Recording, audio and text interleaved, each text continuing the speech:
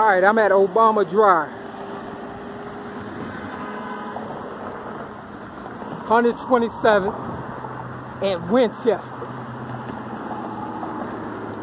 You know, it's mighty funny. These bitches set me up, and all I did was trying to help them. I ain't no used car salesman. I keep telling you bitches. See, that say Frank. Frankfurt. In black and white. You feel me?